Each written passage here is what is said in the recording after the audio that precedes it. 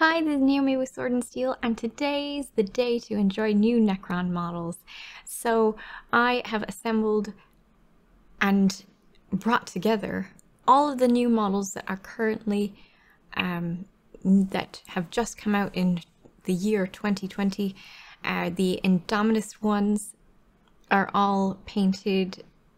Uh, they've already been primed with a gloss black followed by a uh, metal color magnesium by Vallejo and uh, so you can distinguish the two of them from those who have just been freshly assembled as they are brand new models some of which are coming out today. Um, and we're just going to have a look through them all of the most fresh models. I'm going to chat about how it was to how it was to build them. And um, we'll also have a look at well, i'll have a glance at their data sheet um, but mostly it's to look at the model itself uh, in 3D as the pictures don't necessarily show them off to their best. These are quite complex models and uh, I hope you enjoy looking at them with me.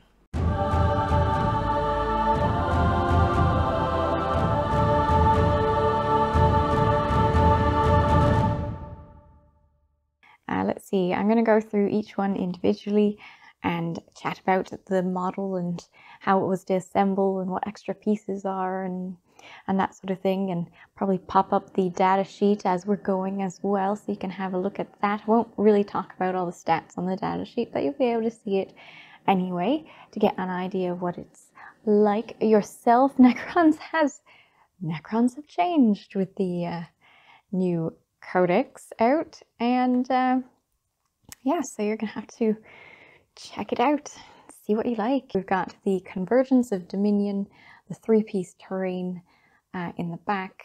Uh, we've got the tall uh, Canoptek Doomstalker and the still fairly tall Canoptek Reanimator. Uh, we got the Skorpekh Lord, the Lokhust Heavy Destroyer, our little Hexmark, uh, Hexmark Destroyer. Uh, we've got our new Ophydian Destroyers. I've got the new Illuminor Szeras. Uh, we've got our Plasmancer and Cryptothralls. We've got a single little Necron warrior and um, the Necron Scarabs and the Royal Warden, the new Overlord, just aesthetically different. Skorpekh Destroyers and Plasmacyte. Oh yes, and the little Plasmacyte with the Ophydian Destroyers. We've got the Shard of the Void Dragon, uh, the Silent King there in the back, and the new monolith. Those are the models that I'll be just running through on. So I hope you enjoy. All right, so these guys were super easy to put together. If, uh, if you want someone to get into the game and help you build terrain or build models, well, these, these are great ones for it. Um, they are literally four pieces each. That's it. You you have these two pieces that you put together, uh, and you've got these additional pieces for here. It it would fit on this one as well. So these pieces, I think, actually were meant to go on this one, but I wanted to change it up and put it on this piece instead. So this piece is super straightforward. It's nice and sturdy. It's not going to be falling over. It's super sturdy. You can fit any of these pieces together with any of the other pieces. I put it together as it's suggested, which is this piece with that piece, this more destroyed piece with that piece, and the two more complete ones together. You use up the entire sprue on this one. The only extra piece that I had from this kit is this. That's it. And yeah, I think these look really nice and I very much enjoy how sturdy they are. They, um, they can be thrown around a bit. I really like how the fact um, that Games Workshop allows your terrain to be well used. And do you see all these details? Look at all these details. These are, these are going to be really nice to paint. Skorpekh Lord, lovely piece. Uh, this one came out of Indomitus. Looks awesome, doesn't he?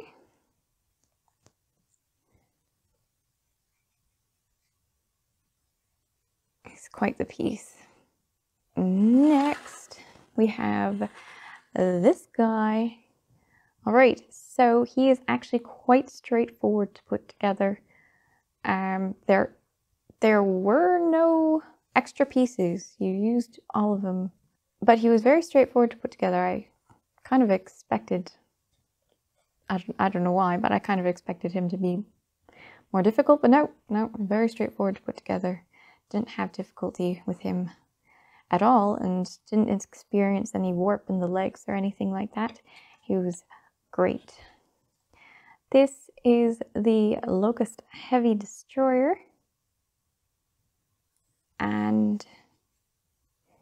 He came with a different weapon option and a different head and a couple different extra pieces that you could apply. Uh, this is like push fit, so there's holes that you can um, fill. Just show you. So he, here are the extra pieces that he has. So just an extra weapon option. And as I said, a skull and a little rock with a scarab crawling about it. Uh, I did do one adjustment. His gun wants to go point downward. I thought that was uh, kind of silly. So I cut a little bit off of his um, middle part so that he uh, is actually shooting his gun forward rather than pointing it downward. Other than that, it's exactly as you expected out of the box. This one is the Canoptek Reanimator. Again, out of Indomitus.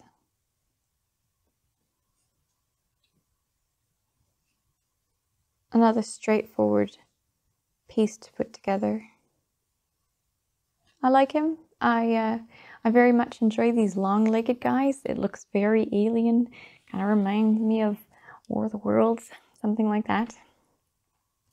And um, I, I like this added really nasty alien look to the Necrons. I think it will be great for new players to get into it with these really cool pieces.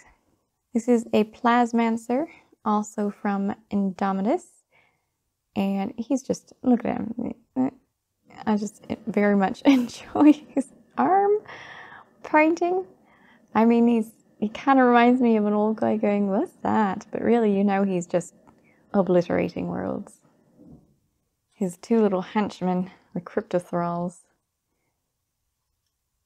are cute, horrifying little creatures, aren't they?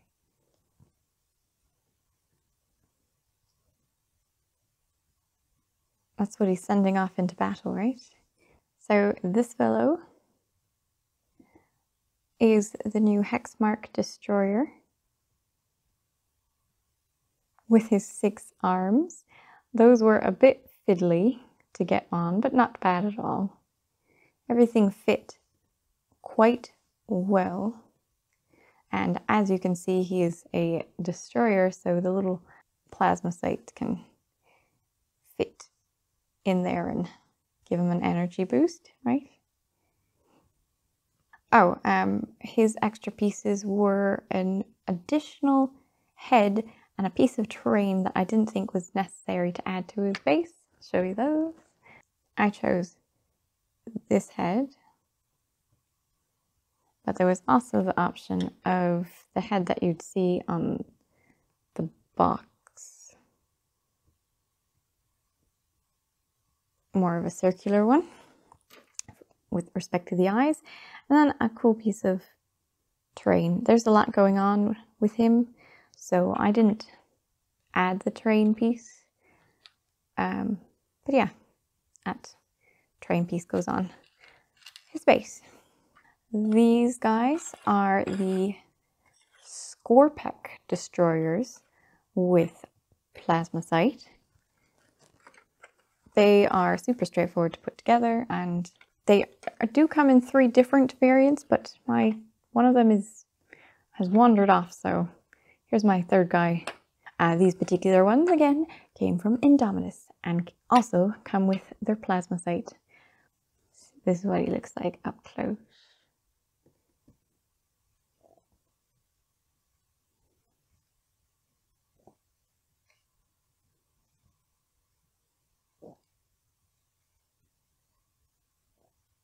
Right, and the Ophydian destroyers, which absolutely look like the very, very old metal wraiths before they turned into the wraith that's up on the monolith that we'll see shortly. Um, these absolutely look like the really, really old fashioned wraith, except for they've added some swords or axes, blades.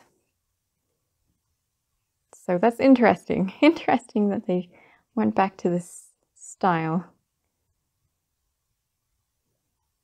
Pretty cool. Uh, they come in three variants. Uh, very straightforward to put together. You've got a bit of leeway on how you put the arms on um, because it's uh, square inserts for the most part. So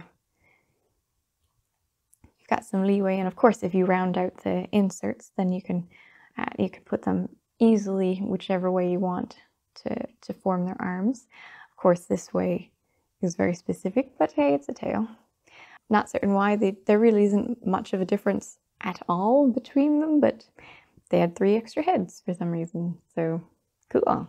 Uh, they also come with their own plasmacyte, which is different. Uh, same creature, of course, but it is a different model than the Indomitus plasma sight just by how it's oriented. Uh, here's the uh, Indomitus Overlord, which you can also get from one or two of the starter sets. As you can see, I, I started painting him. The Royal Warden, also from Indomitus, and also available in one of the starter sets. Here is one Necron warrior uh, using one of the two guns that they come with. The push fit Indomitus Necron warriors aren't the funnest to put together. I mean, they're straightforward, but you kind of have to like bend their arms. So if you haven't worked on these push fit Necron warriors, don't be surprised if you have to bend their arms and shove that head on and then we got our new little scarabs, which, you know, are a nice swarm of scarabs. Got seven scarabs now. The new and improved Illuminor Szeras. It's quite in his lore to keep getting bigger and badder as he's working towards ascendancy by killing everything, killing everything, bringing it to the lab and experimenting on it uh, and of course taking the life force out of anyone who happens to be standing too close. He works for the Silent King just so that he can get new bodies. Here we have the shard of the Void Dragon, and it is a lovely piece. It really is. It may be one that you want to leave at home rather than take to tournaments. Um, it is as fiddly as you think it is. So this was actually a fun little puzzle to put together. Uh, you get two extra pieces because there's two different uh, heads that you can put on and even this variant has a second little swirly thing that you can put in there instead of the ankh. This is really nice piece. Such a well sculpted model. He's gorgeous.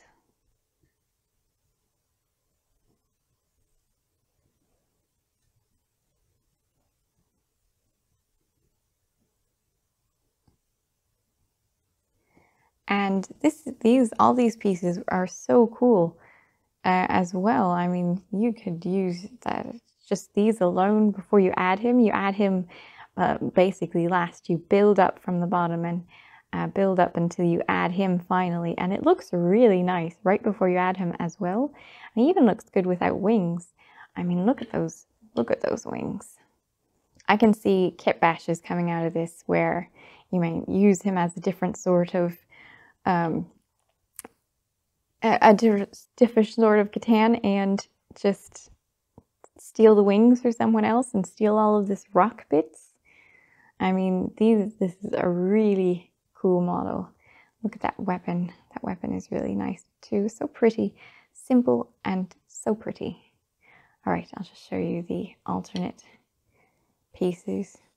I mean, uh, also, um, like this piece here is connected to uh, these these wavy bits, uh, but you could you could keep this little creepy fellow on his back off if you wanted. And it would look fine. I think there might, uh, if I remember correctly, there's a little hole that attaches him to this fellow, uh, but it'd be easy enough to fill it in. So he'd have, he'd just lose this part and he'd be by himself. It's not a difficult thing to do if you want to get rid of a bit of the creepy thing that's on the, his back. Two extra pieces that you get with him are again a swirly bit which could take the place of the ankh in the center.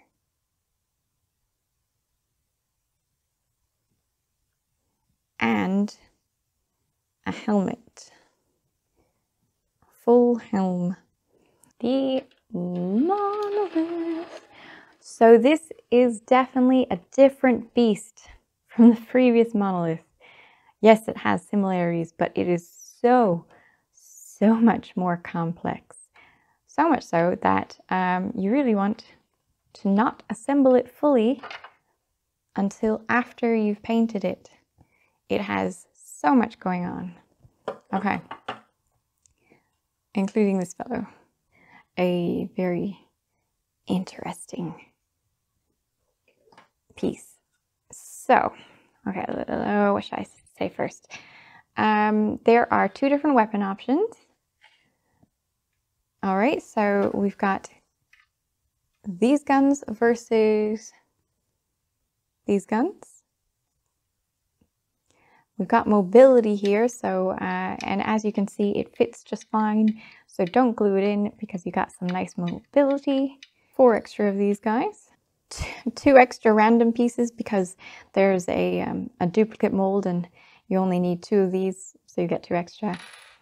And you get an extra gate.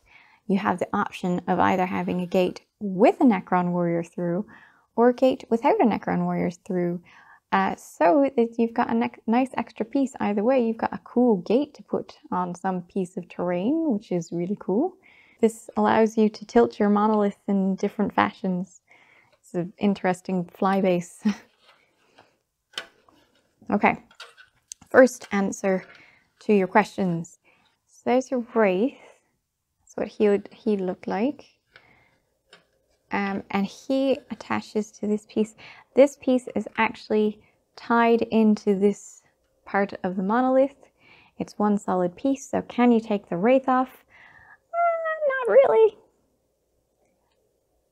This piece is extra and this piece is extra, but all of this piece is one solid piece of plastic.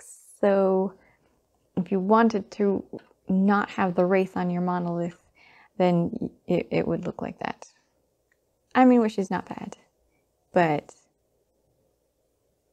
it would look like that. So I'm afraid you're kind of forced, unless you want to do some work, to have this interesting styled wraith on your monolith. Oh, now you can see that it's tilted. Let's straighten it up again. There we go. Straight. All right. Put you back there and we'll assemble you shortly. Okay. So uh, these are mirrored pieces. So I'm just going to show you what one of them is like. As you can see, the inside is pretty complex and you can see right through it. So you can take these out, if you don't glue them in anyway, you can take these out to do something special with them, probably airbrush or glow effects or something like that well, airbrush glow effects on them and, and then pop them in after you've done painting them. As I said, you can see right through to the inside. See how the inside is also organized. Uh, so you may want to paint the inside as well as the outside of the monolith. Uh, if you wanted more terrain pieces, you could just take them out and uh, put it together cheatingly. I wonder, see, you just take these guys out and go, I'm going to make a little monoliths out of them. Little terrain pieces out of them and I'll just put it back together and uh, once I could fit them back in there. Yeah.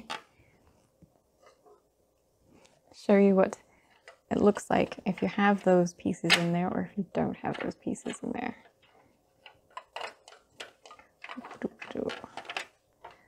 All right, so uh, you got a bit more of a see-through monolith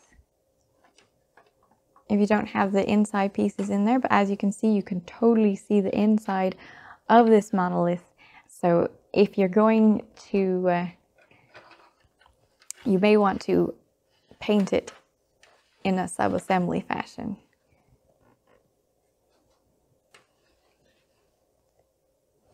There was a touch of warp on this monolith piece, so you may definitely want to get yourself some reverse tweezers uh, so that you can hold pieces together that want to try and warp a bit uh, and prevent that warp from happening as they dry. It's beautiful model though.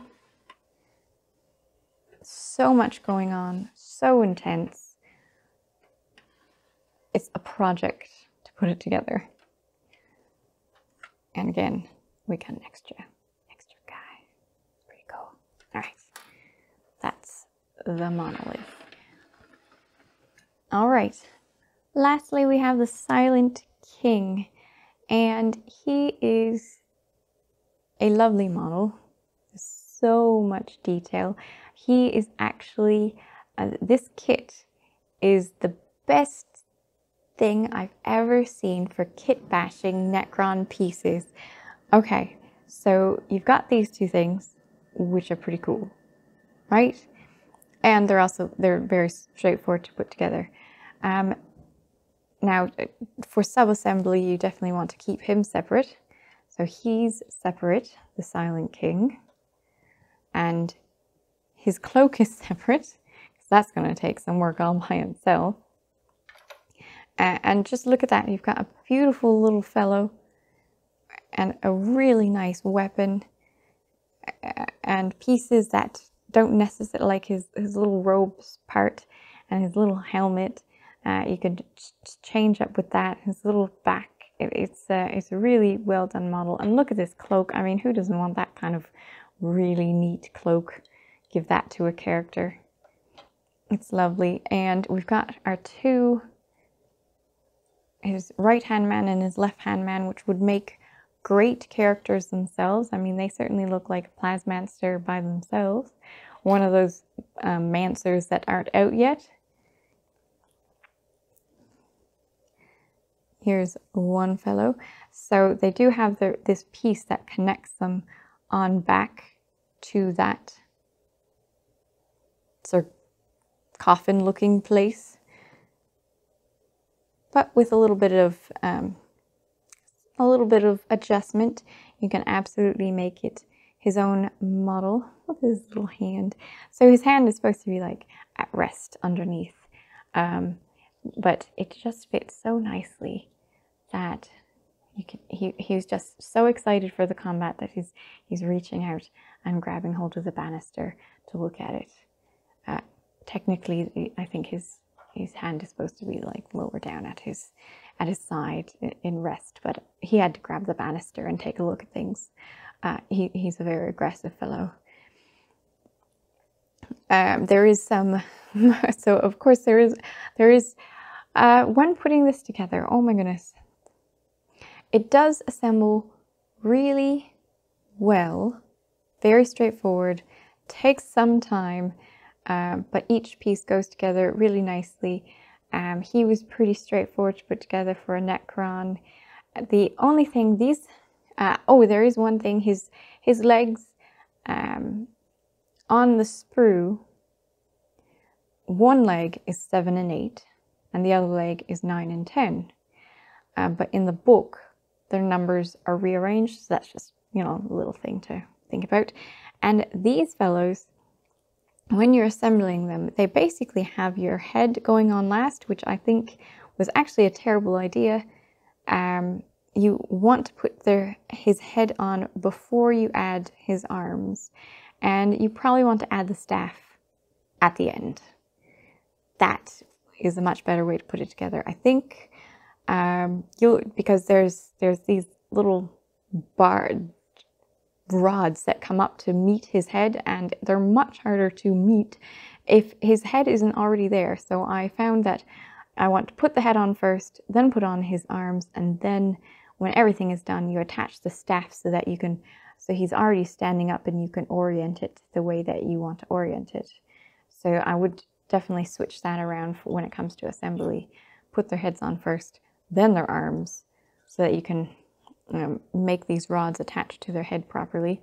Their little neck rods, and and then attach their um, staffs last, so that you can orient it properly um, once he can stand up by himself. These would make really lovely pieces by themselves, and you just need a little bit of work there if you care about the fact that they were once attached to the Silent King's throne. So, and okay, now I'm going to show you why this is like the best kit bashing thing ever. Okay, let's see. We've got fancy Necron stairs and fancy Necron daises. Look at that. And whirly bits and these these four oh and tiny little scarabs that I don't know where they went, but there's two little scarabs that you know are just hanging out somewhere. Um, and we've got these four Necron legs and all of these, them, my goodness, uh, and this big spike and these two other spikes. And look at these mechadendrite things. I mean, if you're thinking passively, AdMech. Uh, look at these guys and more spikes. And I mean, him up top freaking out. There's, and these little pieces. There's so many pieces to this model, by the way. There's, I think, 200 pieces or so to this model. And they are there's so many balls and trinkets and wires and everything is so absolutely detailed. I mean, someone put so much effort into this model. It's gorgeous. So, so many conversions, so many kit bashes. There's just so much going on in this model. It's intense and gorgeous. And look at look at that little dais. I mean, that's that's really cute it's just there's so much going on here. It's just lovely. Oh, right, and uh, no, there aren't any extra pieces for this model. There's these, this, this, this, here's, here's the extra pieces for this model. a couple scarabs. um, of course, you could not put, probably ha put half of what's up there on. There's, there's so many ways that you can change it. Um, but as, as the book says this is these are all these are your only extras. It's cute. Just hanging out. Thanks for watching. I hope you enjoyed viewing these models with me. As you can see, they are some really, really well detailed models. That is the thing about Games Workshop is that their models are so detailed. Oh, and if you want an idea of how to paint your Necrons, well, I have got the video right up there where I paint Necrons. Yes, you should prime your Necrons first before painting them, but that was the challenge to myself. Um, but I've got a video up there um, about painting Necrons, and in the comments are all the various ways people have thought of painting their Necrons. So if you want to check out their com the comments, uh, the sky is the limit for Necrons, and you should have great fun with them. Thanks for watching. Bye! Thank you guys!